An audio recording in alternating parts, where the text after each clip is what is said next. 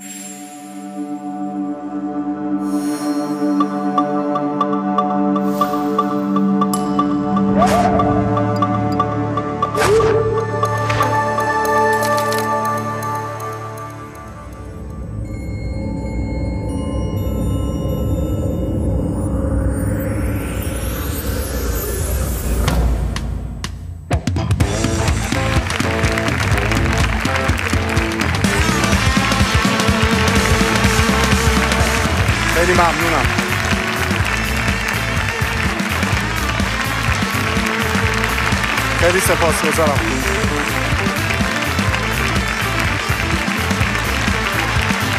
متشکرم بفرمایید. بفرمایید. خوش آمدید. پژمان جمشیدی هستم. خوشحالم که با برنامه دیگر از پیشگو در خدمت شماییم. میگن تاریخ رو فاتحان می نویسن این جمله رو احتمالا زیاد شنیدید. من می‌خوام تصحیحش کنم. می‌خوام بگم تاریخ رو فاتحان اونجوری که دوست دارن می نویسن برای همین نمی‌تونیم خیلی رو چیزهایی که از گذشته میشنویم حساب باز کنیم. چون قطعا واقعیت هایی هست که یا گفته نشده یا بد نوشته شده یا کج نوشته شده یا با تحریف به دست ما رسیده. و چه دروغ هایی که این میان جای حقیقت رو گرفتن. من فکر می‌کنم این که میگن تاریخ رو فاتحان می نویسن تاریخ مصرفش گذشته به خاطر اینکه امروز تاریخ رو ما می نویسیم من و شما. با حرف هایی که می‌زنیم با متن هایی که در صفحات اجتماعیمون می‌ذاریم با عکس ها و فیلم هایی که رویدادها و اتفاقات می‌گیریم و منتشر می‌کنیم. همه ما امروز به نوعی مورخ محسوب میشیم. امیدوارم تصویری که از تاریخ امروز برای آیندگان می‌ذاریم بر پایه صداقت باشه. بگذاریم. بریم یک آهنگ بسیار زیبا گوش بدیم از گروه مورد علاقه خودم گروه دوست داشتنی دارکوب. به افتخارشون. خوش آمدید. خیلی خوش آمدید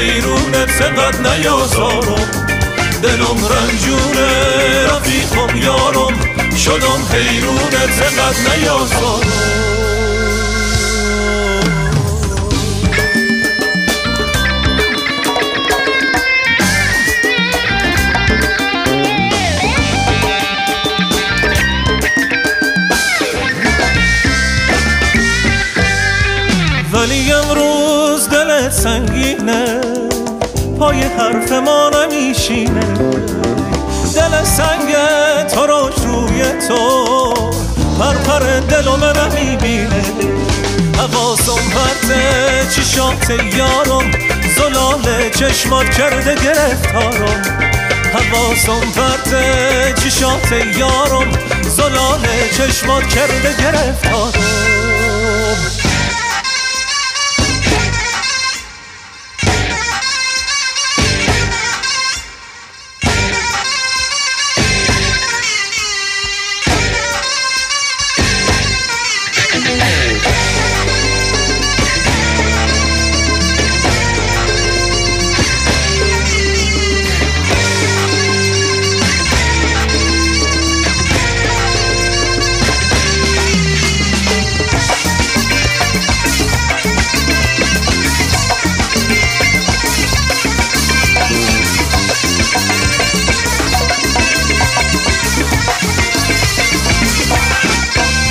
زمستون بود دل دارم نیومد چراغ شوم تارم نیومد. دلم خوش به بهار پیش رو بود بهارم رفت و یارم نیومد.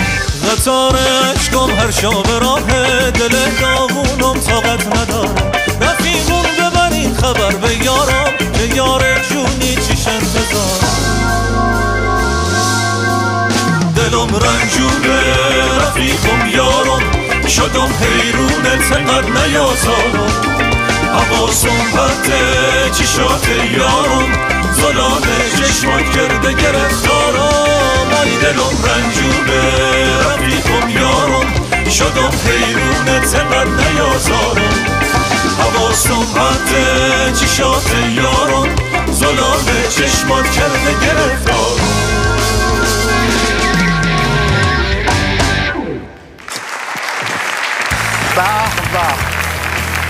به به به کیف کردی. اون پشت خبر. آقا خیلی ممنونی. آقای همایونی آقای دارا آقا آرش آقای نصیری. خوش آمدید به به. همه این دوستان از سلاطین سازهای خودشونن در ایران و افتخار ماست که امروز میزبان گروه محترم دارکوب هستیم. بریم سراغ میهمان امشب. کودک قصه ما که میهمان امشب ماست در اوایل جنگ در دوران دبستان بوده و اون موقع که اینجوری نبود سرویس داشته باشن بچه ها و بیان با پرتقال و بیسکویت ببرنشون مدرسه خودش برای خودش یه راهی پیدا می‌کنه. هر وقت از سر کوچهشون مینیبوسی وانتی چیزی رد می شده میپریده پشت اونو می‌گرفته یه دو تا چهار را می‌رفته بالا پشتش هم قایم می‌شده. حالا وانت اگه بوده کیفو اول مینداخته بعد وانتو می‌گرفته اگه مینیبوس هم بوده کیفو میذاشته اینجا اینجوری آویزون میشه که کیفه نیفته. یه بار که میره سوار وانت یعنی پشت وانتو بگیره کیفو که میندازه وانت را میفته.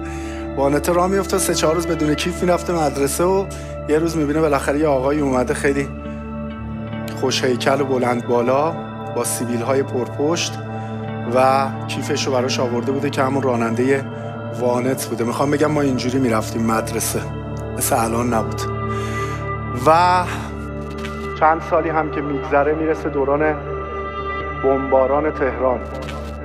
تعریف می‌کنه میگه وقتی بمباران بود من یه حالا کودک 11 12 ساله بودم و مثلا در روز چند بار آژیر قرمز می‌زدن. اون موقع که آژیر قرمز می‌زدن همه باید می‌رفتن توی زیرزمین ها توی پناهگاه ها قایم می‌شدن که اگر خدای نکره بمب به خونه ای می‌خورد سرش آوار نشه.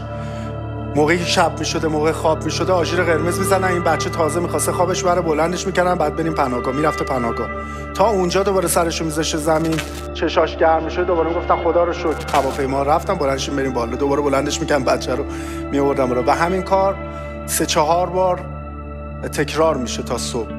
و آخرین باری که میره پناهگاه یک شبی آرزو می‌کنه که ای کاش یه بمبی بخوره تو خونهشون دور از جونش بمیره تا راحت بتونه بخوابه. سرکار خانم جاله سامتی.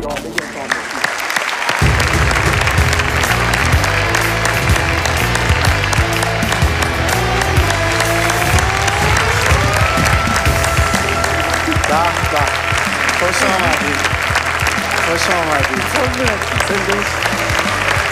خیلی خوش آمدید بفرمایید. بفرمایید. اگه یه جا ازتون سوال کردم بازیگری چی همین عکس خانم سامتی نشون بدید کافی نصف تعریف رو رفتید. خیلی خوش آمدید. باعث افتخار ماست. حضور شما در برنامهمون. و اینکه من خیلی خوشحالم می‌تونم با شما یه گپ مفصل بزنم. اگه می‌خواین یه سلام علیکی بفرمایید. خواهش می‌کنم. سلام عرض می‌کنم خدمت بینندگانتون حضارتون و خسته نباشید میگم به شما و همه دوستانتون که پشت سر واقعا من از قلب خوشحالم شما امروز اینجا به گروه جذاب موسیقی که چشم ندیدشون کجا؟ بالان.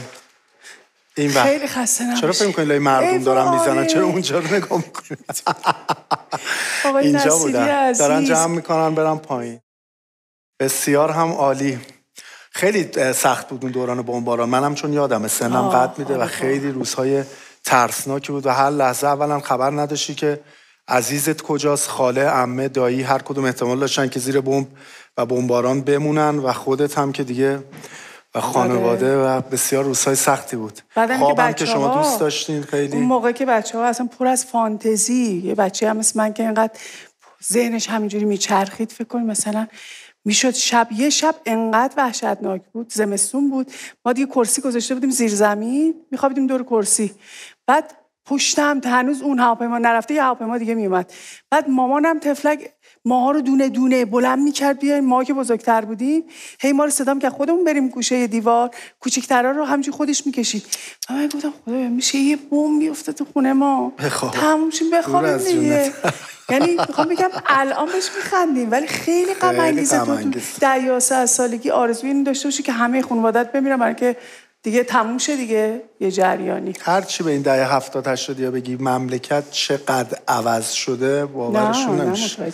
از چی به چی رسیدیم؟ آره واقعا. واقعا تغییراتی که در این سالها اتفاق افتاده وصف نشدنیه.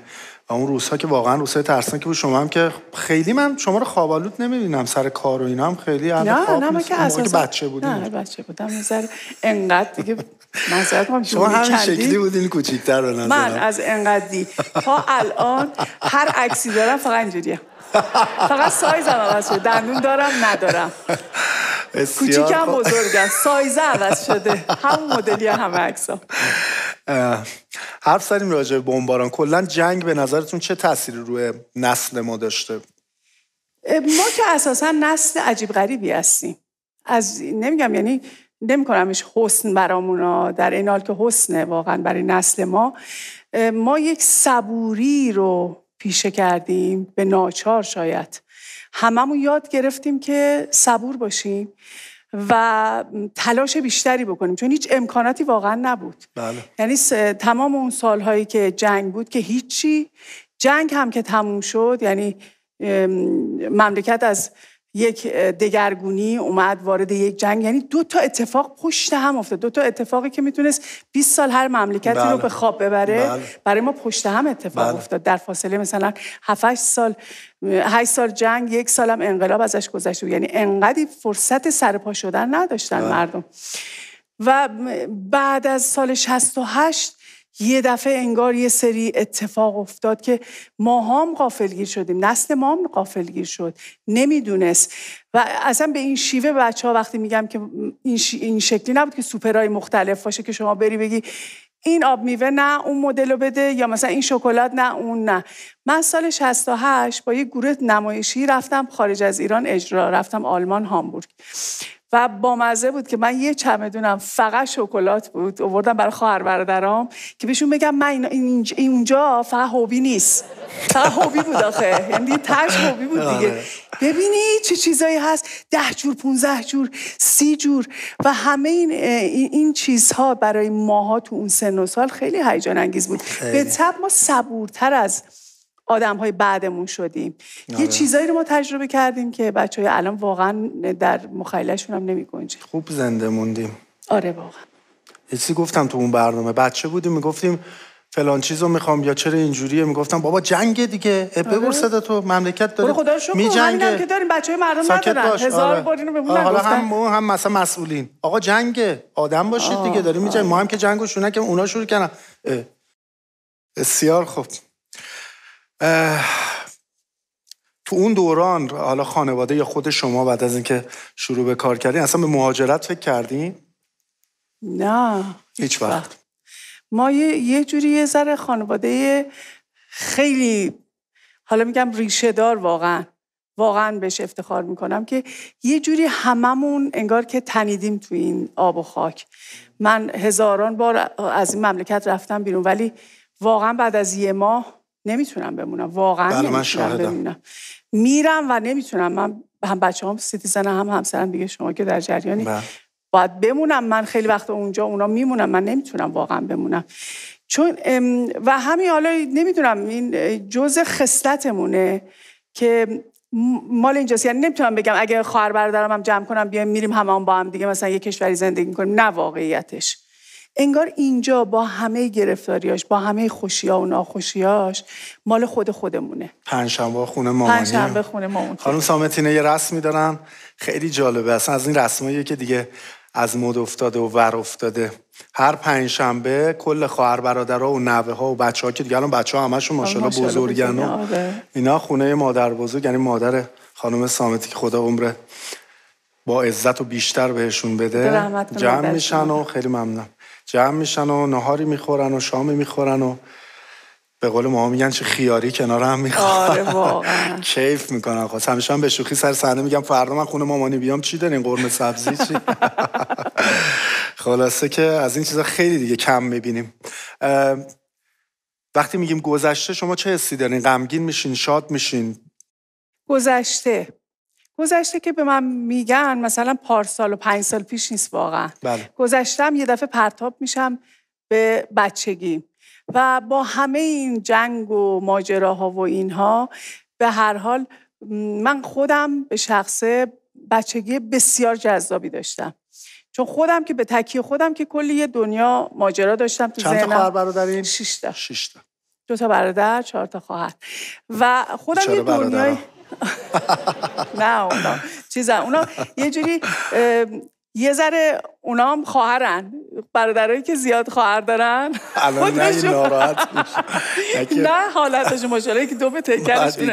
ولی چیزن یک رفعتی پیدا می‌کنن بله. که برادرایی که خواهر ندارن یا خواهر کمتری دارن اونو ندارنش بله، بله، بله. واسه همین یعنی پرتاب میشم به بچگی خونه پدر بزرگ مادر بزرگ اما سه ماه تابستون می‌رفتیم خونه پدر بزرگم و آخرین روز شهریور با بزنه بکش میومدیم تا در روزم اعصاب نداشتیم بیش کنیم هممون تا هر کی بزرگتر باشه تو. خانواده خانم سامتی بیچاره است چون همه همش اونجا.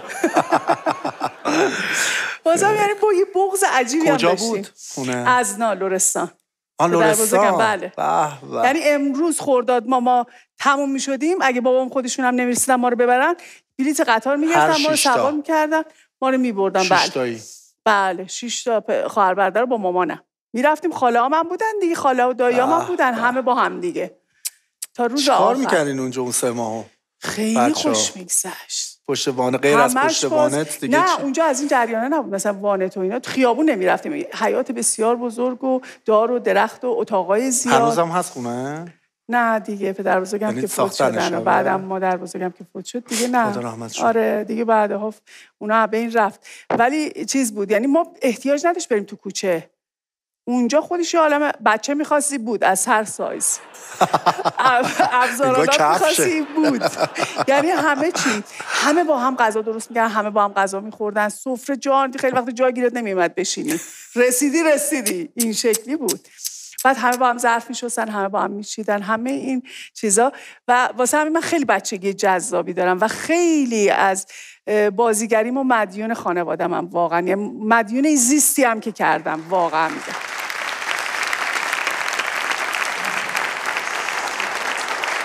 خیلی جالب بود. اولین کاری که کردین چی بود؟ اولین کار تصویری که بازی کردم فیلم آقای ابوالفضل جلیلی بود دت. از سال سالی که دیگه دوم سوم دبیرستان بودم فراخوان دادن برای تو همون دو تو اون تابستون من یه قد کشیدم بیجهت یه فراخانی دادن برای بازیگر دختر و پسر برای فیلمشون.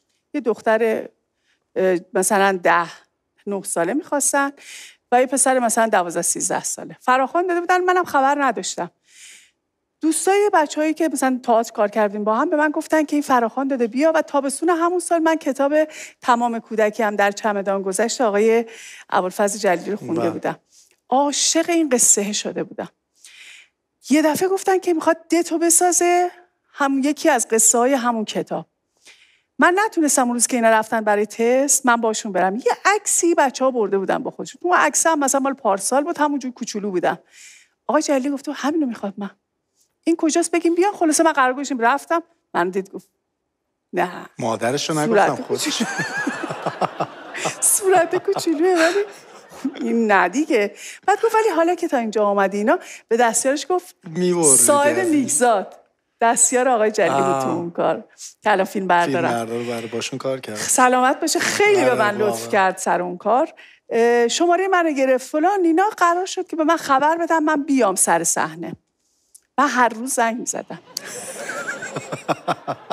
کجایی؟ مطمئنم. کجایی؟ کجایی؟ آدرس دادن سرخ حصار بیمارستان کار می‌کردن تایی اونجا. گفتن بیا اونجا. من می‌رفتم. هر روز. یه هفته در روز اونجا کارش من هر روز صبح می‌رفتم. می‌رفتم اونجا. تو باد یه نفر میخوابید یارو از بین بره بری جاشو بگیری. مثل فکر کرده بودم میشه معلومی خودش چی کار می‌کرد انقدر خونسردی بود که دوباره دیدم یه خانومی نیومد. این یه کاری می‌کرد. نمیشه هر جا بری یه خانومی نیاد. نه بعدا من مثلا دعاشو به من میدی؟ برای آقایون هم هست. برای عزتی یه چند تا بخون. سیم ولو بود جمع می‌کردم. بی جهت. چرا؟ آب می آوردم اینو می بردم اونو شیرین می‌کردی خودت. بعدا آقای جلی سر کلاسش به بچه ها گفته بود به دانشجوهایی که بعدا دانشجوها مشترک بود. گفته بود گفته بود که ژال سامتی اومد من دیدم یه دختر بچه ای همجوری میپلکه و میره و میاد و فلان. گفتم این مال سینماست. یه روز صدام کرد گفت اینجا ببینم. شما کجایی هستین؟ گفتم من مادرم لوره پدرم لوره. گفت لوری بلدی؟ لوری بلد نبودم من. گفتم بله آقا. گفت آواز بلدی بخونی؟ گفتم بله آقا آواز نخونده بودم تا حالا. گفت لوری بلدی بخونی؟ گفتم بله آقا. آب قوز می‌تونی بکشی بعد. گفت بخون ببینم. من مامانم وقتی مثلا لحافی سنجاق می‌زد کاری داشت می‌کرد زمزمه ای می‌کرد. اینا رو بلد بودم این ترانه هایی که مثلا خونده بود زمزمه می‌کرد. یکیشو خوندم. گفت یه لباس تنی بچه کنیم بره پشت این پنجره وایس.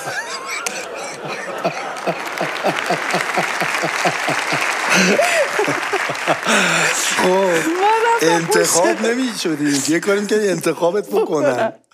می‌رفتم رفتم پشت پنجره و این آوازه رو خوندم و گرفتن و خدافز بچه دیگه برو خونتون تو. ما اومدیم فیلم یه دونه اکران داشت جشنواره اون سال. فقط یه اکران شد بعدم دیگه هیچ جا نمایش داده نشد. میرن برای فیلم آقای نادر مقدس دشت ارغوانی می‌خواستن فیلم بسازن. دختر جوانای اون موقع مثلا کمن بود و پرستو و دیگه کیا؟ مثلا اینا بودن دیگه مثلا دختر جوانایی که مثلا 20 ساله اینا بازی می‌کردن. هی میارن هی میارن. آقای ملاقل پور خدا بیامرزم تهیه کننده بوده. هی بازیگر میارن میگه نه اینا نه. یه چیزی یه صورتی می‌خوام که اینجا دیده نشده باشه. دستیارش هم وحید موساییان بوده. میگه آقا کی؟ شما بگو چه شکلی باشه؟ ما بیاریم پیدا کنیم بیاریم دیگه. میگه یه دختره بود توی اون فیلم جلیلی پشت پنجره نشسته بود. یه قیافه مثل اون. وحید موساییان میگه بازیگره. میگه مگه بازیگره؟ اون میگه بله. بگیم بیاد. من رفتم دفترشون من دیدن و من انتخاب شدم واسه دشت ارغوانی. و اون سالم دیپلم افتخار فجر رو گرفتم. به. اتفاق میمون ورود سرکار خانم سامتی به عرصه بازیگری. سریال چی؟ سریال اولین سریال که بازی کردم. کی نیومد؟ نه دیگه دیگه وقتی وارد شدم دیگه, گفتن بیا میخواستنه دیگه خودتو می‌خواستن دشت ارغوانی رو کار کردم سایه به سایه رو کار کردم از جنوب تا شمالم کار کردم سینمایی بعد شد یحیی و گلابتون سریال به، مال حسین. پناهی خدا بیامرز خدا رحمت آره، کنه آقای واقعا. پناهی. اون- یه ذره از آقای پناهی بگید برامون یکی از بهترین موجوداتی که خداوند خلق کرده به نظر من حسین پناهی خیلی حیف شد. خیلی به- به نظرم. بهش خوش گذشته خدا وقتی خلقش می‌کرده. واقعا میگم. یک فیلسوف واقعی. واقعا فیلسوف. واقعا جاشون خالی. خیلی هم با زود. تمام سادگیش یک دیدگاه عجیب غریبی داشت نسبت به انسانیت انسان زندگی حیات. آسمان زمین. اصلا یک ویژگی عجیبی در رابطه با نگاه به مردم داشت. بعد خیلی با مزه و پر از فانتزی و بسیار خوش شوخ طبعی که آره، مثلا ما خیلی خیلی جا ندیدیم. واقعا شوخ طبعی که خودش کاراکتر خودش بود. در هیچ فیلمی من فکر می‌کنم خیلی ندیدیم. ولی اساسا یعنی همه فکر خیلی آدم عبوسیه در حالی که واقعیت این شکلی نبود. به نظر بی حوصله می اومد ولی واقعا اینجوری نبود. خیلی چیز بود. خیلی رنگ, رنگ, رنگ رنگی می‌دید همه چی رو. همه رو هی با مثلا یکی از شوخیایی که داشتیم با هم من صدا می‌کرد سر یحیی گلابی. مثلا داشتن نور می‌دادن صحنه میشم می‌گفت شال بیا. میشستیم یه گوشه می‌گفت بگیم هر کدوم اینا مثلا قرار بوده چه کاره بشن بهشون میاد. و می‌گفت و واقعا تو می‌گفتی بهش میاد. و مثلا میگفتش که این اسمش مثلا چیه؟ مثلا من می‌گفتم مثلا سهراب می‌گفت حشمته. و تو نگاه می‌کنی بودی حشمته. خیلی این بازی چی خوشمزه بود که با هم انجام می‌دادیم. میگم خیلی کاراکتر عجیب غریب و شاعر. اونجا با مزه بود. یعنی یه با مزه آره. یه کم کمدی بازی کرده بودن. اساسا میگم خودش انقدری که خودش با مزه بود توی تصویر ما خب ندیدیم با مزگیشو. آره بله. جاشون واقعا خالیه. آره روح شاد واقعا. مرحوم حسین پناهی. اگه الان بخوای شیرین ترین خاطره گذشته رو که وقتی بهش فکر می‌کنی یه لبخندی میاد روی لبت برامون بگی اون چیه؟ چیزی مد نظرت هست؟ خیلی دارم. یعنی اگه بخوام یه دونه نمی‌تونی انتخاب کنم یه دونه واقعا نمی‌تونم انتخاب کنم. ولی خیلی خاطرهای خوشمزه دارم و خیلی چون که من اساسا دیگه حالا خیلی ما با هم کار کردیم و می‌شناسیم خیلی آدم سختگیری کلا که نیستم. و از چون همه چی برام خیلی رد میشه آسون می‌گیرم برام همیشه همیشه خوشاینده. خیلی چیز گیری نیست گیر ندارم رو چیزی. ولی از چیزای خوشمزه و خوبی که بخوام بگم مادر شدنم بوده دیگه. اولین باری که یاس دادن به من اصلا باورم نمی‌شد. هی دست همه رفتن. من نه نیم شب دیگه از اتاق زایمان اومدم بیرون و بچه‌رم با خودم آوردم می‌گفتم بدینش. می‌گفتم میدیم سب کن. می‌گفتم بدیم بعد اومدیم. بعد من دیدم همه بخش مامانا خوابن بچه هم خوابن. من و یاس اینجوری. هی من نگاه اون نگاه من. من شامه رو خوردم. مامانم دیگه رفتن همسرم رفتن اینا همه با هم رفتن من موندم و یا همش خواستم اینا برن. همه می‌خواستم برن همشون رفتم پرستارم پرسید کاری نداریم گفتم نه رفت. بلندش کردم. اولین باری که خودم دیگه دست زدم بهش. بازش کردم. بعد بلندش کردم گرفتم تو دستم بردم شستمش تمیز بعد آوردم خشکش کردم. فکر کنم عروسک بازیه یعنی حس اینجوری داشت که این مال منه نمی‌دونستم یعنی. و چون تا لحظه 26 سالم بود. و این اصلا این عروسک بازی بود برام. انگار که مثلا تمام اون خاله بازی ها الان مثلا واقعی شده. این مربوط به منه. بعد اونم نگاه می‌کرد به من همینجوری. بعد من زنگ زدم گفتم خانم میشه یه دکتر بپرسید نگران شدم دیگه میدم خیلی بیداره همه بچه ها خوابن. گفتم بچه من بیداره. گفت خب. گفتم اتفاقی نیفتاده. گفت من گریه می‌کنه گفتم نه. خب تو چه خودت چرا بیداری؟ گفتم نه باید بیدار شم گفت خب ببین همه بیهوشن. شما دو تایید فقط. ارسیه دیگه. تو چرا بیداری؟ گفتم من خوشحالم. گفت خب اینا من خوشحاله.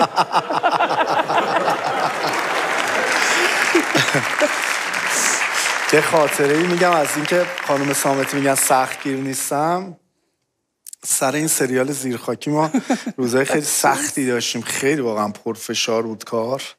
من همیشه از برنامه ریزمون خواهش می‌کردم که واقعا دقیقه که دیگه ما باید بیایم مرافیش کن که وقتی میایم استراحت کامل کرده باشیم اینا. یه روز اومدم روز تعطیلم بود. خب آدم روز تعطیل دوست داره مثلا نهارش رو کنار دوستانش خانوادهش بخوره. گفتن آقا دوازده مثلا آفیش دوازده بیه من دوازده رفتم دیدم ناهار دارن میدن.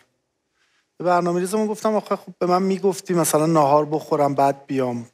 راحت قشنگ. شما که تا ناهار بخوریم بخوایم بچینین و بگیریم میشه سه بعد از اون من ناهار میخوردم میومدم همین که ناراحت بودم دنبال یه همدم بودم که باش در داده. کام گفتم برم ژاله رو پیدا کنم به ژاله بگم بابا چه وضعیه؟ بیا بریم بهشون یه اعتراضی بکنیم. در رو واکنه میدم 7 نفر دختر رو دور خودش هم کرده. یه بگو بخندی دار می‌کنه. نهار می‌خوره پیاز اون وسط. اصلا بهش نگفتم در بستم. گفتم برش این که خوشحاله. یعنی مطمئنم مطمئنم اگه مثلا هفتم میومد صبونه رو می‌زد اوکی بود با اونا. خلاصه که آخه من معتقدم که وقتی تو دیگه میای از خونه بیرون میای کار کنی کاری که انقدر دوستش داری من عاشق بازیگری هم یعنی دیگه یکی از چیزایی که گفتم بودن آرزویی که داشته باشی گفتم من به آرزوم رسیدم واقعا. بزرگ از انقدری می‌خواستم هنرپیشه بشم تا الانی که هستم یعنی انقدر از این مسرورم و همین میگم خدای ممنونم ازت که من بزرگترین و تنها ترین آرزوی بزرگم بهش رسیدم. واسه وقتی میام از خونه بیرون یعنی به قصد این میام که بیام صحنه چه نمایش چه فیلم با استارت اینه که خوشحالم دیگه یعنی می‌خوام لذتشو ما ببرم. می‌خواستیم این نهار بخوریم کنار دوستان. یه جوری میگه انگار مثلا ما ناراحتیم. یه جوری خوشحال بود اصلا آدم هیچ جا اینقدر خوشحال نیست. که اینقدر خوشحال بود تو اتاق لباس داشت نهار می‌خورد. خیلی خوب. می‌خوام یکم از طریق تاریخ شما رو بشناسم و بینندگانمون بشناسن. اگر بخوای به غیر از حالا یک دوره تاریخی دیگر رو انتخاب کنی که توش زندگی کنی اون دوره تاریخی چه دوره ایه می‌تونه میلادی باشه می‌تونه شمسی باشه می‌تونه برای کشورمون باشه می‌تونه نباشه. دوره حکومت کوروش کبیر. کوروش کبیر. یکی از انتخابات تقریبا ثابت ماست از طرف میهمان ها دلیلش رو که واضحه ولی خب اگه می‌خوای بله. برای احترام و تصاوی که وجود داشته و این ارق ملی که کوروش کبیر داشته نسبت به سرزمینمون نسبت به ایرانی بودنمون من اساسا با تعصب خیلی موافق نیستم. اینکه تو هر چیزی رو که زیاد روش پافشاری بکنی و تعصب بیجا داشته باشی غلطه به نظر من. ولی به هر حال وقتی که تو یه وقت هستش که مثلا خونه خانواده خودت برات ارجعترن ولی این به این معنی نیست که به همسایه روبروت می‌تونی ظلم بکنی. و این این شیوه خیلی در اون زمان رایج بوده و بله. با وجود که با همسایه ها دوست بودن و معاشرت می‌کردن و دوستی داشتن مردم براشون خیلی قابل احترام بوده و مردم هم اعتبار بسیار زیادی داشتن در تمام دنیا. بله. اولین فرمان روایی به تعریف امروزی در کل تاریخ بشر و حالا تو برنامه دیگه ای هم که دوستان انتخاب کردم گفتم از مرز هند تا هند بله. امروزی تا مصر امروزی و این قدرت که می‌تونسته این وسعت رو رهبری کنه اگر بخوای یک رویداد تاریخی انتخاب کنی که دوست داشتی در موقع وقوعش اونجا بودی چه رویدادی انتخاب می‌کردی؟ معلوم نیستی تو ذهنت بود آره. افتتاحیه تئاتر شهر افتتاحیه تئاتر شهر چه آره. انتخابی 1350 تأسیس شده و ما می‌خوایم در ذهن شما به شما فرصتی بدیم که یک میهمانی برگزار کنید یک معاشرت شش نفره که یکیش خود شمایید پنج نفر دیگر رو می‌تونید از بین مشاهیر تاریخ بشریت انتخاب کنید. یا از آدم هایی که می‌شناسید به غیر از خانوادهتون از بدو تولد تا به امروز. یک جمع شش نفره داشته باشید کیف کنید یک ساعت یک قرن تا هر وقت که دوست دارید تا هر وقت دعواتون نشد. پنج تاشون با هم باشن با من؟ یا نه تک به تک باشون معاشرت با شما نمیشم تو مهمونی باشم. حالا نه یعنی میشه باشون معاشرت کرد تک به بله. تک. آره اصلا. مهمونیه دیگه می‌تونیم بریم با این معاشرت کنیم با اون معاشرت بله. اونا با هم معاشرت کنیم یعنی هم ما شش نفر خالی نیستیم. مهمونیه. چرا؟ شما شش نفر خالی. ما خالی. حالا نمی‌دونم اونا با هم می‌خورن من ولی فکر کنم. چرا؟ مهم نیست. می‌خورن. هر چای کی نخواست چاپلی نیاد. آره. میاد ولی. خیلی میاد. خوبه اون که میاد اون اولین نفر میاد میاد اون اول نفر هم به. هست بعد کلاش هم در میده شما می‌ذارین رو چوب لباسی خونتون اثر بعد رو می‌گیرن گذم هم خودم هم گذاشتم سرم یه دوری هم وایسادم دور اشکال نداره ولی با اون کله کار دیگه نکنید خب فروغ فرخزاد فروغ فرخزاد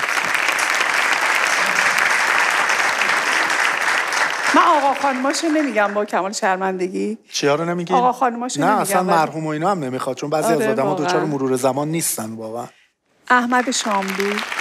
احمد شاملو. کوروش کبیر. علی حاتمی. یه ورزشکاری هم دعوت می‌کنیم جان. ورزشکار هم دعوت می‌کنم. من بیام یه سر. هستی یه سلامی دیگه. من چجوری. میام؟ این مهمونی؟ مال شماست. من دره رو باز گذاشتم. چی؟ دره رو باز گذاشتم. پیشه. در پیشه. تک زنگ با بزنید مزه میشه. آره. چالی چاپلین با فروغ فرخزاد احمد شاملو و کوروش کبیر و علی حاتمی. عالیست. کی با کی بیشتر معاشرت می‌کنه به فکر نظرت کنم همشون یعنی بخوای حساب کنی همشون صلح طلبن فکر کنم همشون با هم بهشون خوش طلب که. هستن. کی با کی بیشتر دوست داره معاشرت کنه؟ آم، همشون با من فقط. تو اصلا نمی‌ذاری کسی با کسی معاشرت کنه. خیلی خوب میشه. خیلی خوبه. چی میپزی؟ مرغ شکمپر. جالی چاپلی نخورده آره. مطمئنم. دلمه برگ. برگ ما اگه تابستون بود اگه نه. که حالا مثلا اونای دیگه. آره. نه آب خیار. که تابستون. چرا با خیلی حال میده؟ یخ میندازی توش می‌خوری؟ حالا شربت از اینا که خیار و اینا توش رنده می‌کنن. اول میدم خنک که بعد برسیم به غذا. چاپلین بیرون نوی بیرون روی نگیره من موقع خروج خب. خیلی خوش میگذره. آره خیلی به نظرم. نون سنگک هم می‌گیرم با سلفی سبزی خوردن. سلفی با چارلی چاپلین. چی؟ سلفی؟ سلفی با چارلی چاپلین. خیلی خوبه. خیلی خوبه. شاید یه دوتا اتودم با هم زدیم. دو تا اتود دو واسه تا اونای اتود اونا نشستن. ما دوتا چقدر جالب میشه. آقای حاتمی هم سه دو یکشو بگه. آره ما خواهش می‌کنیم ازش. میگیم شما بگین که ما کی بیای بعد نگه دارین هر جا غلط بودید بودیم من مطمئنم تو اون جمع هم اول فروغ فرخزاد انتخاب می‌کنن بعد تو میری هی انقدر میشینی اونجا رو تمیز می‌کنی اون یه روز نمیاد تو جاشو می‌گیری. به خدا. تو تو شعرم میگی. نه چیز چون دوستش دارم هی میرم میگم که من برم من برم. من برم. انقدر میگم میگه برو. تو برو. من. میشینم شعرمو میگم. آخه آره به نظرم اینقدر با گذشت هست که این کارو بکنه. خیلی خوش گذشت با شما. خیلی کیف کردم. یادم رفته بود من مجری برنامه هم باید سوالم بکنم. خیلی ممنونم ازت. خواهش من, از شما من. همیشه از کنار با شما بودن لذت می... لذت می‌برم چه در کار چه اینجا که با- هم گپ و گفتگو من هم کردیم. همینطور واقعا. بخش گذشته ما تموم شده. اگر حرفی مانده و می‌خوای بزنی می‌تونی. اگر نمیریم یک بخشی رو می‌بینیم. برمیگردیم در بخش آینده. راجع به آرزوها و رویاهای شما بیشتر حرف می‌زنیم. افتخار خودتون خیلی ممنون.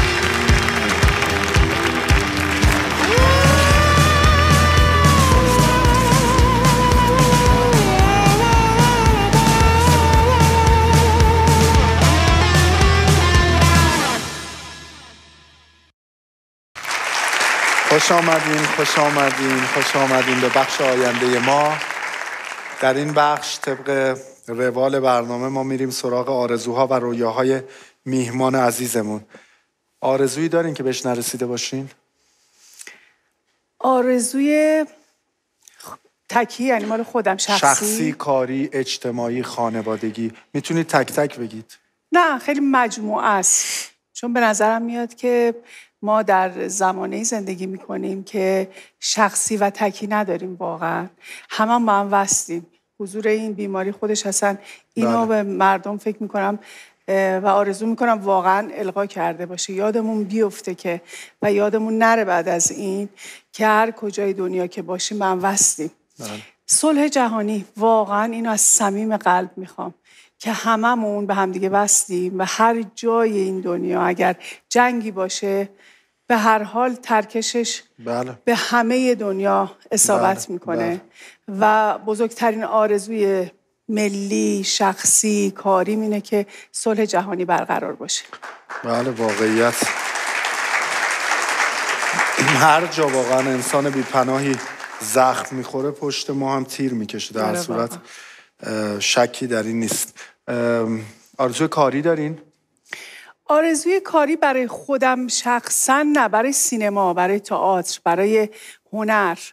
اینکه همون جوری که مردم انقدر اهمیت میدن به حرفه ما و انقدر که مردم ما لطف دارن همونقدر هم در اه، جایگاه اجتماعی و قانونی به همون اندازه مورد لطف قرار بگیره. امیدوارم. امیدوارم یکم بیشتر توجه بشه مخصوصا تو این روزا بله، به خصوص. به جامعه تئاتر. رویایی هم دارین؟ ما اینجا تفکیک رویا از آرزو برامون اینه. رویا چیزیه که به عقیده ما رسیدن بهش کمی دور از ذهن محسوب. میشه. همون اتفاقی که دور از ذهن واقعا که همه چیز درست بشه و همه چیز بشه. اتفاقای خوب بیفته برای همه مردم دنیا به خصوص. مردم ما که این روزا خیلی غمگینن. بله. اگر از بین همه مردم کره زمین به شما این فرصت رو بدن که به دیویست سال آینده برید. نه. حالا ازتون خواستم من دیگه. منتظره. من اصلا پشت وانت نمی‌خوام، آقا. پشت وانت. منتظره. نمیرم. من. آقا حالا باید بریم. این دست خودت انتخاب شدی. آبرو ایرانو داری می‌بری. باید برم 200 سال دیگه. اگه از این ماشین هوایی ها بیاد دنبالم سوار ما نمیشم هوایی سوار نشو. چی سوار میشم؟ آچ من میگم خر بیارم. نه خرم که دیگه نه دیگه. همین یه تاکسی ماکسی چیزی. تاکسی سخته خر هست. تاکسی الان اون موقع شاید همه رو اوراق کرده باشن. الان من تاکسی از کجا بیارم؟ مگه خب زیر خاکی. تاکسی مال کی؟ بذار من به شما میگم قراره بری 200 سال آینده از شما خواستن. چی با خودت می‌بری؟ می‌تونی یک چیز یا یک کس ببری به غیر از خانوادت. الکی دخترتو برنری تلک و تلگرامی بری آینده. دخترم جفتش یا باید نبرم یه اصلا دوتاشو. نمیان اونا. یه چیزی که باید با خودم ببرم. آلبوم. آفرین. آلبوم عکس. آفرین. بهترین جواب. یکی گفت موبایل. گفتم باید بریم اونجا عتیقه فروشی بفروش. موبایل؟ موبایل چرا؟ اون موقع اینجوری صحبت می‌کنی با هر کی بخوای. آره، بسیار. خوب. اولین سوالی که از یک آدمی که 200 سال آینده می‌بینی بپرسی چیه؟ فکر کن بهش. میگم کوه و دشت داری؟ کوه و دشت؟ آره. دارن دیگه. ندارن خدا. این فیلم این که می‌بینیم حالا مثل ازنان شما نه حالا نیست ولی بالاخره رودخونه ای داری درختی. نباید یعنی چی مثلا من میگم همش وحشت دارم. باور می‌کنی؟ من همه وحشتم اینه که میگم خب خدا شد یه خونه پرش دیگه 10 سال 15 سال دیگه بعدش ما زنده ایم دیگه. بعدش دیگه نیستیم. فکر کن مثلا ماشینا هوایی بشن. خب بشن مش- ربطی به کوه دشت داره؟ کوه کودش دشت هم از. بین میره به خدا. دیگه آسمون نمی‌بینی دیگه نمی‌دونم کوه بابا یعنی چی؟ مگه قرار چی بشه؟ همش تصورم اینجوریه. مثل فیلم فضایی ها دیدی همینو میگی کوه. خب اصلا من من می‌خوام یه سوال بپرسم. میگه؟ میگه؟ اصلا وقتی رفتی 200 سال کوه و دشت خودت می‌بینی دیگه. آها, چی آها بپرسی؟ یعنی من یه جایی نیستم که من بیرون رو ندیده باشم. خودت رفتم میشه به. اون آدم 200 سال آینده بگی ببخشید کوه دشت رو بهت بگه. نشونت بدم پشتشه.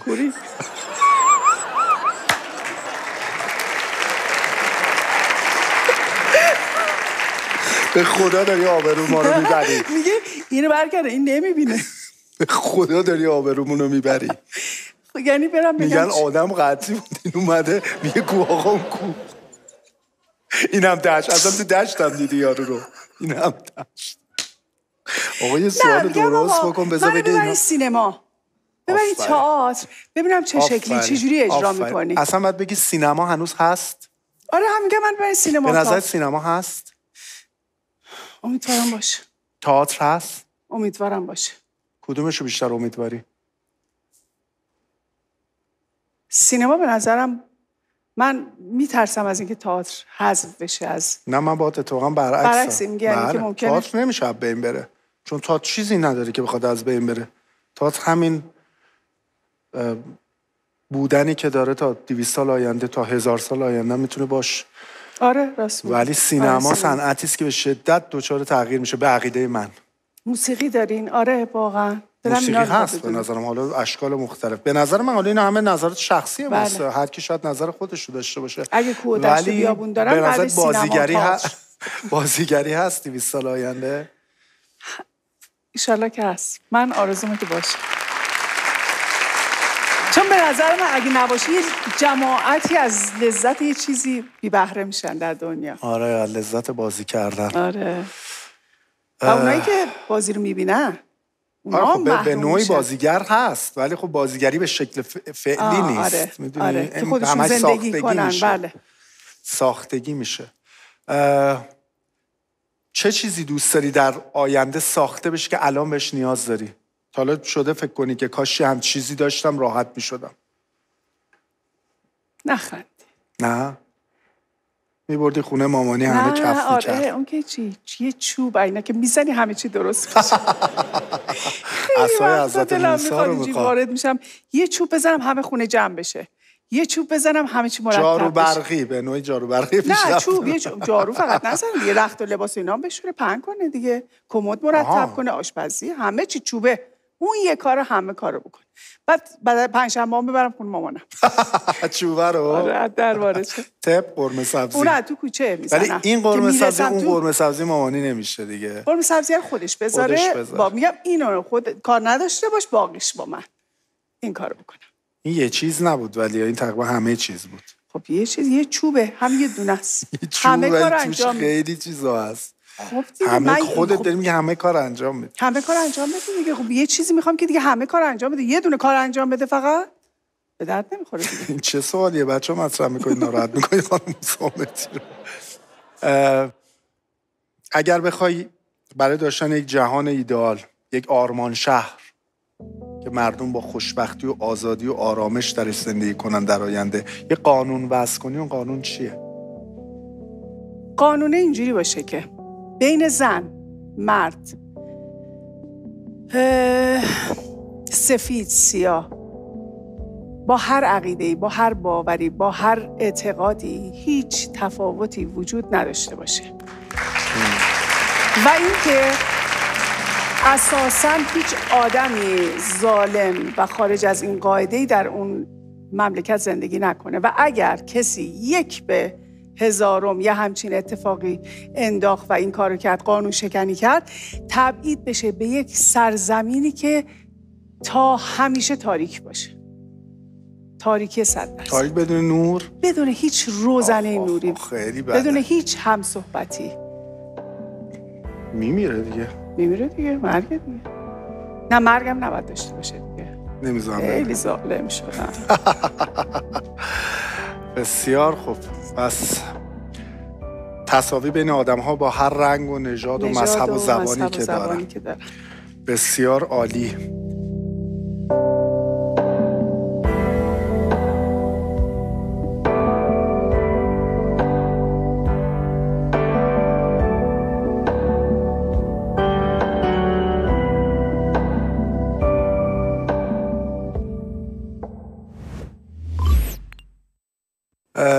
اما دونستن آینده برای خیلی جالبه. بله. و اینکه بدونن چه اتفاقی برای خودشون و برای جهان میفته. ما پیرو این صحبت می‌خوایم با شما یک بازی بکنیم. از شما اجازه بگیریم که به ما فرصت بدید با شما یک بازی بکنیم به این شکل. ما روی این دیوار سی عدد داریم. این سی عدد از بین 200 عدد در اتاق فکر انتخاب میشه با توجه به خصوصیات اخلاقی، روحیات میهمان ما و حرفه‌ای که درش فعالیت می‌کنن. پشت هر کدوم از این اعداد یک سرنوشته. 15 سرنوشت بد، 15 سرنوشت خوب که گفتم به صورت اتفاقی انتخاب میشه. شما می‌تونید ده عدد رو انتخاب کنید هر عددی رو که انتخاب می‌کنید اونجا برای شما باز میشه که پشتش چه سرنوشتیه. و اون سرنوشت رو می‌تونید تو هر کدوم از سالهای ده سال آینده زندگیتون بذارید. تنها چیزی که در حیطه قدرت شماست اینه که می‌تونید چیدمان زندگیتون در ده سال آینده رو خودتون انجام بدید. هر وقت هم خواستید می‌تونید عوضش کنید. در نهایت به یه هر. وقت که بخواید. این بازی علتش اینه. علت انتخاب ما و عوامل پیشگو و اتاق فکری که داریم اینه خانم سامتی که یادمون نره زندگی دو رو داره. روی خوب روی بد. قرار نیست همیشه روی خوش به ما نشون بده. بله. آدم موفق میشن که بتونن در مقابل اتفاقات پیش بینی نشده زندگیشون بیستند عبور کنن و به زندگی و به زندگیشون ادامه بدن. برای همین ما این بازی رو با میهمان عزیزمون می‌کنیم که فراموش نکنیم زندگی بالا و پایین داره. اولین عدد از طرف سرکار خانم سامتی. 134 الان می‌تونم بگم؟ بگم الان؟ می‌خوایم بریم دوباره. نه بله میگم. یعنی الان شروع بازی شروع شده، بله. شد. چهارده. عدد چهارده.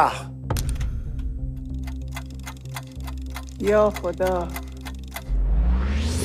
تولد اولین نوه. مادر بزرگ عزیزم. عکسای دوران مادر بزرگی هم همونه. همونه فقط این که مثلا یه ذره اینا جمع شده. اینا هم سفید شده. به به تولد اولین نوه. کجا؟ زود نذار تو رو نه این. بچه ها رو بدبخت نکن اما 1405 1405 تولد اولین نوه. عدد بعدی. یک. عدد یک.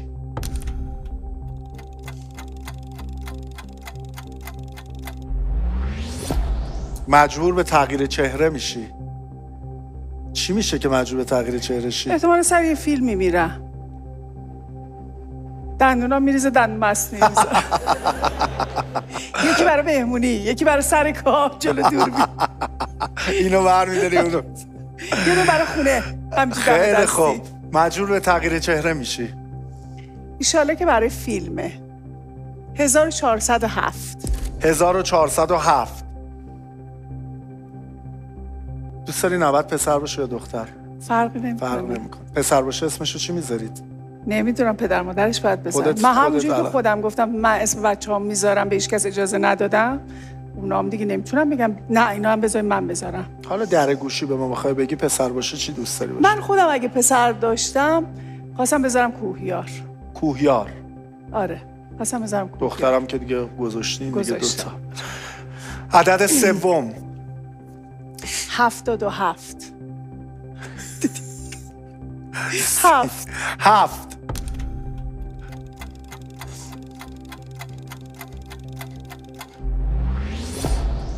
دوست صمیمیت بیماری لاعلاج می‌گیره دور از جونتون. دوست صمیمی صمیمی داری دوست صمیمی صمیمی به اون شکلی که مثلا. مدرسه می‌رفتیم تا نه. آدم. ندارم بس هر جا دوست داری بذاری. نیست دیگه. یکی از برو دوستات آخر برو برو آخر آخر. 1410 عدد بعدی. ام، 23 عدد 23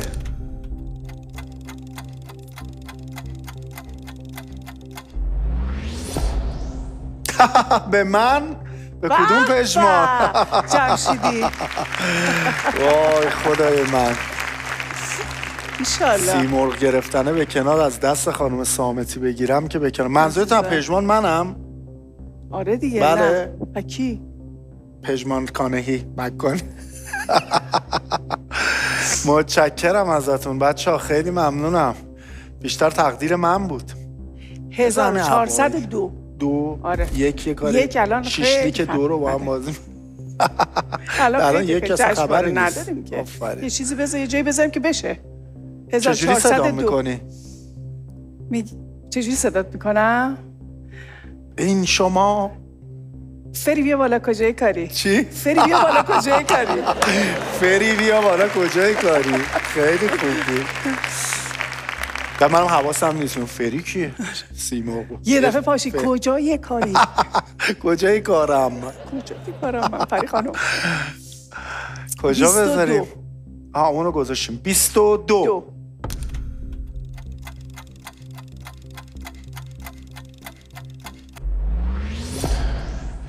به به برای هزار زن. سرپرست خانوار کارآفرینی می‌کنی. انشاءالله انشاءالله.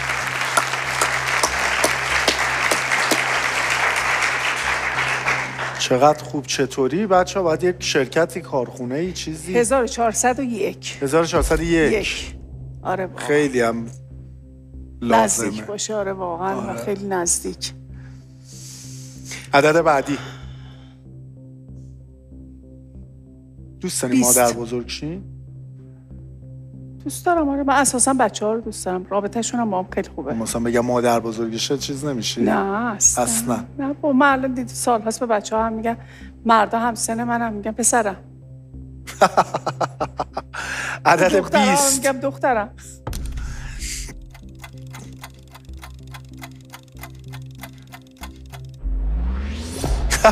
حکم جلبت صادر. میشه. چرا؟ بعد کارآفرینی؟ کردم چک دادم برگشت خب برگشت خورده همه اون زنها رو هم دارن می‌برن همه اومدن ناله نفری می‌کنن. بنده خدا تو زندگیشون که رو پول نداشتی بیجا کرد بار دل خوش کرد.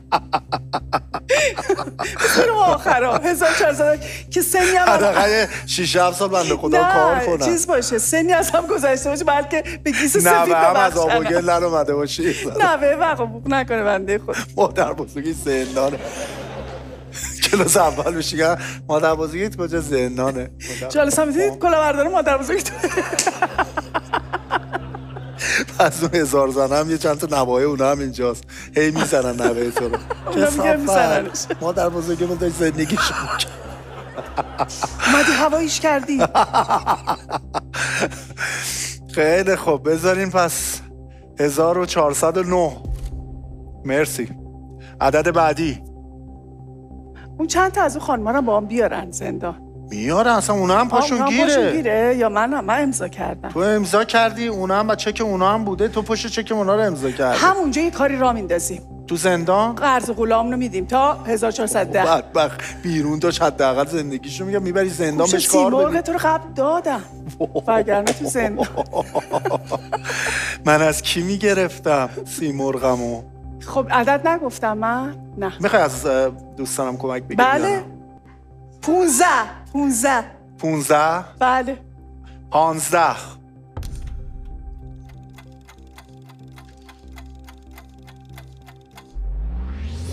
به به. به عنوان چهره ماندگار انتخاب میشی. اون روز میایا چقدر خوب. چقدر خوب. کاش لاعلاج نبود مریضی اون میسشم آخرا که اقلا چون دیگه دیدی, دیدی که تجلیل می‌کنن تو باید بهش خونت آخه میگن مریضی لاعلاج. ولی شما هیچ وقت به معجزه تا آره شک اون که نکن. آره تا موقع. اومده. دو سال پیش می‌دونستی مثلا کرونایی هست بعد واکسن می‌سازن؟ آره، نمیاد نظرم خوب میشه آره آره. توکل به خدا. 1408 میشینم خونه دیگه چهره نهایت. ماندگار؟ خیلی چرا خوبه. ماندگار میشم؟ میشینم خونه. دیگه بهت کار نمیدم. عدد بعدی. روشون نمیشه فیلم نامه میگن دیگه. آقا این ای- ای- ای- ماندگاره. چی داری براش به کمدی. عدد بعدی. تگزاس چهار. چرا ماندگار. 17 اونو باز می‌کنم چهره یکم ماندگار. چیزی به اولش اضافه می‌کنم. عدد بعدی می‌گیرن ازم. 17 هرچی دادم می‌گیرن. 17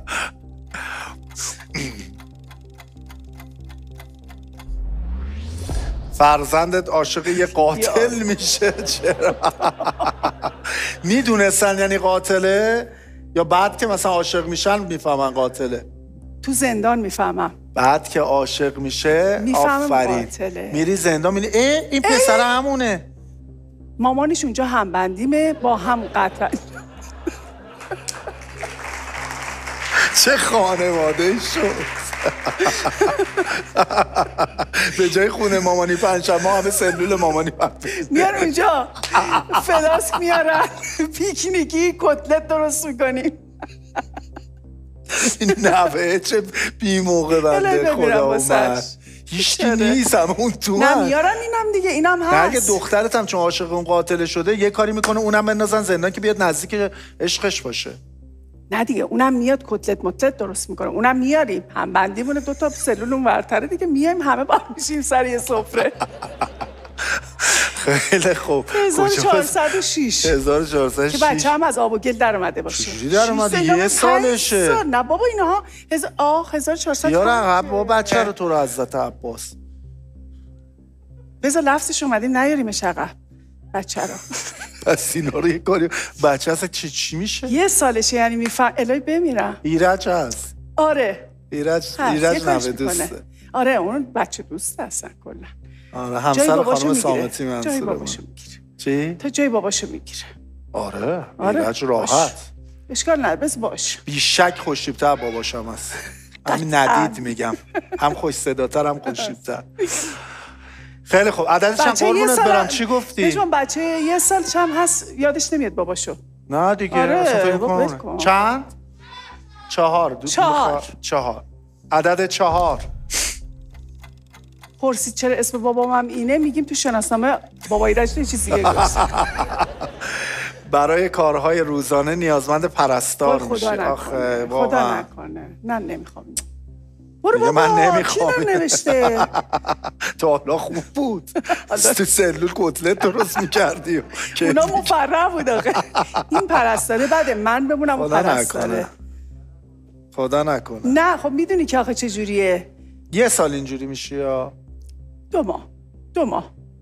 من که خدا نیستم دور از دو ماه دیگه. از- چی میگن؟ استغفرالله من زود بلند میشم. من زود بلند میشم. دیگه من زود بلند میشم.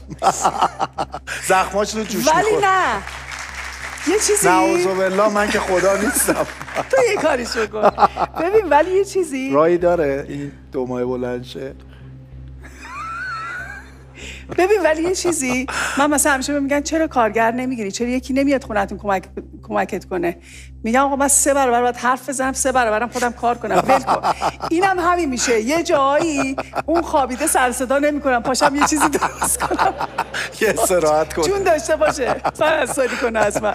ولی خوبه هم می‌تونه نوه هم یه ذره نگهداری کنه. فقط بعدش اینه قبل از نوه پیش توی چون الان فقط قبل از نه دیگه خب بس چیز می‌کنیم اه. باش اینجا آشنا میشم. دو ماه بعد میره خب. بچه که به دنیا آمد دوباره میگیم بیاد.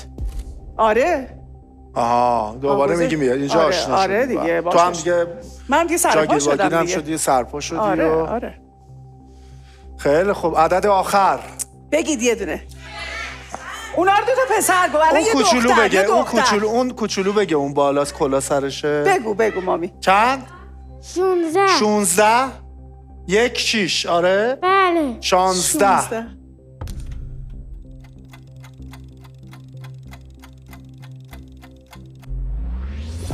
به به. این خوبه. این خوبه.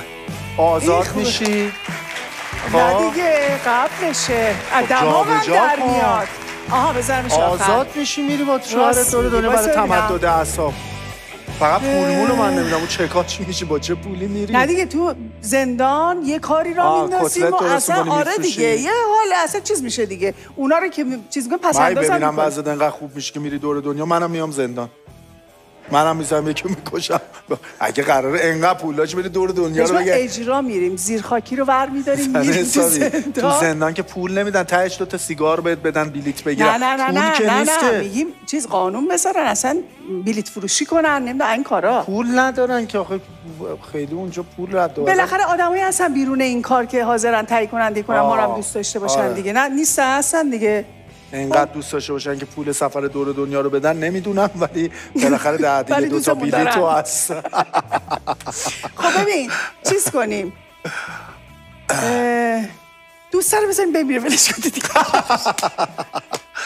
من میگم دوست رو واقعا و- ورده بیار یه سر اینجا که خوبم میشه. تو آره. بیا برو. ببین بیا دوسته برو. بیاد بره مثلا. دوسته بیا برو. چیزه جای اون با همسرت سفر به دور دنیا میری. آره آره آره اینا جابجا آره. خوبه دیگه. همه اصلا این تو- بدبختی ها رو من گذروندم که برم دور این دنیا بچرخم. پرستاره رو به اسم خودت می‌گیری ولی برای دوستت.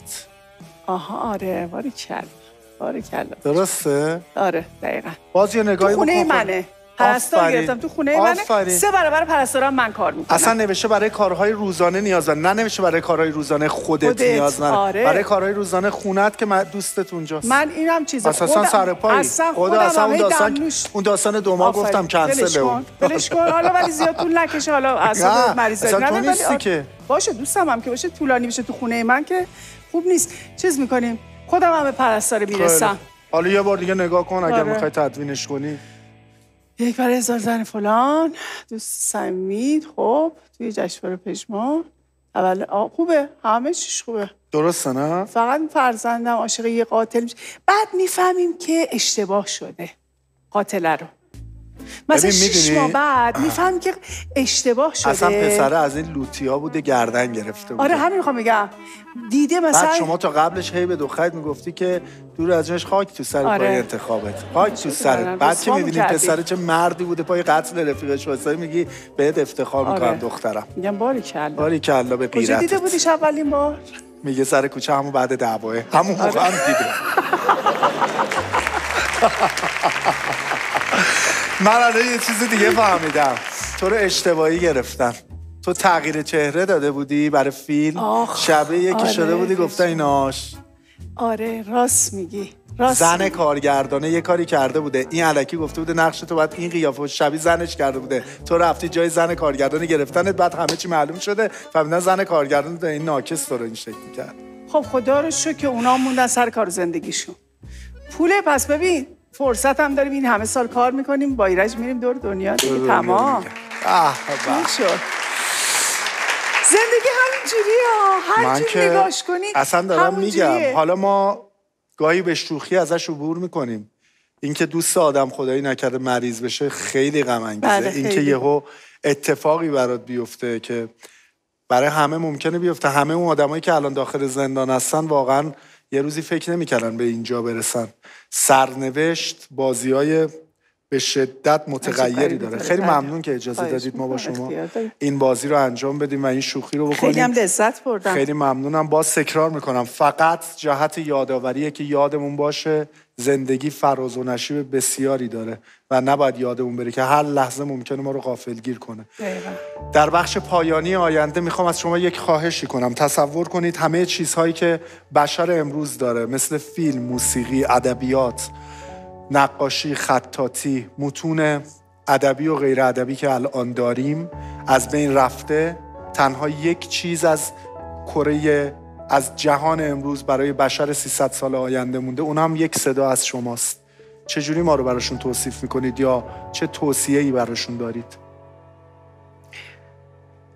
خواهش می‌کنم خود اونها رو مخاطب قرار بدید. می‌تونید تمرکز کنید فکر کنید. ما نه نمی‌خوام بهش فکر کنم چون میترسم از دست بره. تو دوربین بگم. اصلا می‌تونید چشماتون رو ببندید بگید نیاز نیست تو دوربین بگید. چون برای مردم حالا نمیگید برای مردم آینده میگید. ما مردمان صبوری هستیم. شاید خیلی بیشتر از اونی که باید صبور می بودیم صبور بودیم. هر چیزی به قاعدش درسته. آفر بسیار هم عالی. هر چیزی به قاعده. افراط و تفرید تو هر چیزی. غلط. تو دوست داشتن. بله. تو محبت کردن. دیدین بعضی پدر مادر نمیزن بچه دست به هیچی بزنه. یک بچه بی دست و پای بدبختی وارد جامعه میشه که اصلا به درد هیچی نمی‌خوره. یا از اون طرفیش هم درست نیست که بچه رو ول کنی به امان خدا. به هر صورتش یعنی می‌خوام بگم حتی در مهر پدر مادری هم اگر افراد یا تفرید باشه عکس العمل بدی بعدها می‌بینه. هم بچه هم خانواده. خیلی خوب. یعنی این توصیه شما به آدم های 300 سال آینده است؟ بله. که هر چیزی رو به قاعده زندگی کنه. هر چیزی رو. حتی دیگه بهترین چیزی که من یادم از بچگی هر کاری می‌کردم می‌گفتن صبر صبر صبر. و واقعیتش اینه که ما خودمون من خودم اگر اینجا به واسطه صبریه که داشتم. یعنی هول هول هول بازی در نیوردم. خیلی ها بودن اومدن و هی می‌خواستن از این پله برن اون بالاییه. کله میشی دیگه. ولی وقتی که گذاشتی پاتو پله اولیه وایسادی جاگیر شدی بعد فلان شد پله بعدی بعد میمونی بعد می‌رسی اون بالاه صبر می‌خوام بگم یعنی مو- یکی از مهمترین و بهترین چیزها در زندگیه که از بچگی هم به ما توصیه شده. ولی اگر اون رو حتی اگر درست رعایتش نکنی و از حدش رد بشه خیلی اتفاقای بدی گریبانتون می‌گیره. موافقم باتون کاملا. خیلی ممنونیم از شما. نه نه ممنونم از شما. بخش آینده ما اینجا به پایان می‌رسه. مثل بخش گذشته به من خیلی کیف داد. منم. حس کردم کنارتون. م، یک آهنگ جذاب دیگه از گروه دوست داشتنی دارکوب. گوش میدیم. می‌رسیم به بخش پایانی که ما در اونجا هدیه خودمون رو پیشکش شما می‌کنیم. هدیه ناقابلمون که هر وقت دیدید یاد ما بیفتید. بفرمایید. بفرمایید.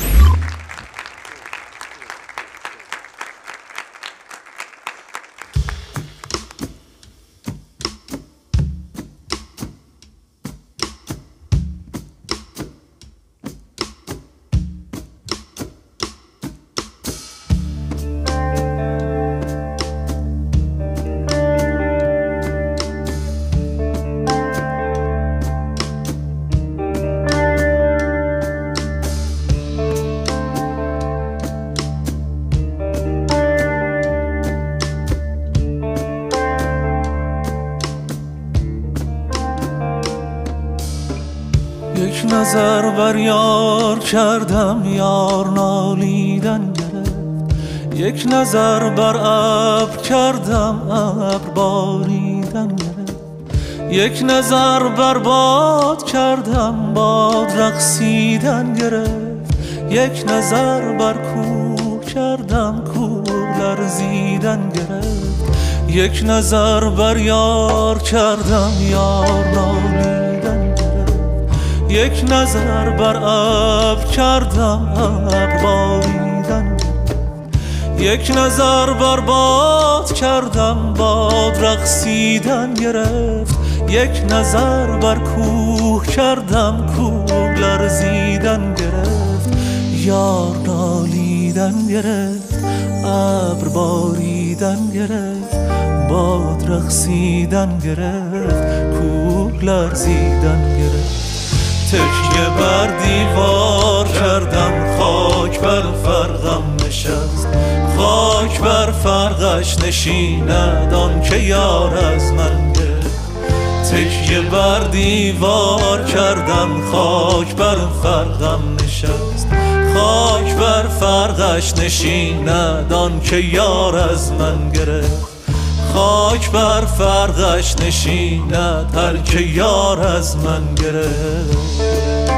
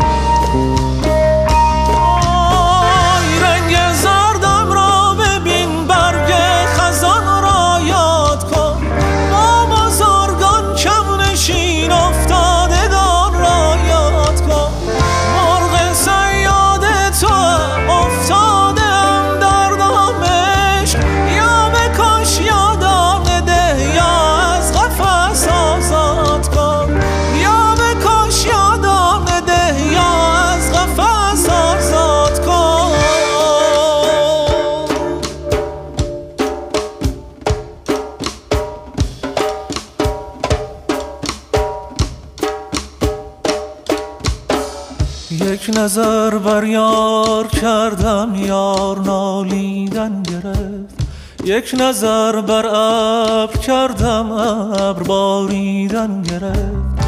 یک نظر بر باد کردم باد رقصیدن گرفت. یک نظر بر کوه کردم کوه لرزیدن گرفت. تکیه بر دیوار کردم خاک بر فرقم نشست. خاک بر فرقش نشیند آن که یار از من تکیه بر دیوار کردم خاک بر فرقم نشست. خاک بر فرقش نشیند آن که یار از من گرفت. خاک بر فرقش نشیند آن که یار از من گرفت. خاک بر فرقش نشیند. هر که یار از من گرفت.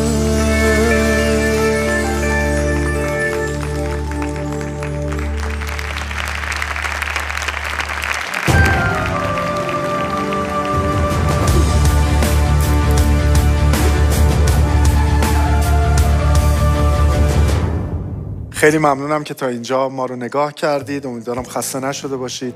در بخش پایانی طبق روال برنامه ما از میهمانمون خواهش می‌کنیم. پای قانونی که برای داشتن یک جهان بهتر آرمان شهری که مردم بتونن با خوشبختی و آرامش درش زندگی کنن و از کردن امضا کنن. خانم سامتی بفرمایید. این خودکار خدمت شما پای قانونتون رو امضا همینجوری نیست. ما امضا می‌گیریم. این کتاب از همه میهمانانمون خواهش می‌کنیم که قانونی که وضع کردن در این کتاب امضا کنن و ما به یادگار پیش خودمون نگه میداریم. شاید روزی جایی از اونها استفاده شد. قانون سرکار خانم سامتی برای جهان بهتر آینده. اصل برابری برای تمامی افراد با هر جنسیت نژاد و عقیده‌ای لازم الاجراست خیلی ممنونم.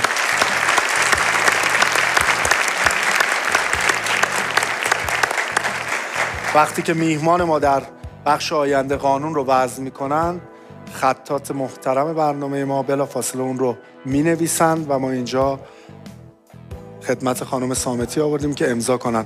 و اما بخش پایانی کار ما گلدونی است که ما به شما تقدیم می‌کنیم با لوگوی پیشگو و نهالی که در اون هست نهال زیتون. بله. دلیل انتخاب ما اینه که زیتون نماد صلح و بین 500 تا 1000 سال عمر می‌کنه. تنها چیزی در این سالن از آدمها و اشیایی که موجود هست و 500 سال آینده رو می‌بینه. این نهال زیتون. شما می‌تونید از شش ماه آینده این رو در هر باغچه‌ای در تهرون بکارید و هر وقت می‌بینید یاد ما کنید. حرف پایانی اگر دارید. خیلی خوشگله. خیلی ممنونم ازتون. سلامت باشید. چقدر جذاب واقعا. من که لذت بردم واقعا. من همیشه از بازی کرد بازی کردن در مقابل شما که لذت بردم. چه در چه در تلویزیون چه در سینما. و اینکه حضور داشتم امروز در کنار شما. تک تکتون. خیلی ممنونم کیف کردیم. متشکرم. بفرمایید. من می‌رسم خدمتتون. بفرمایید.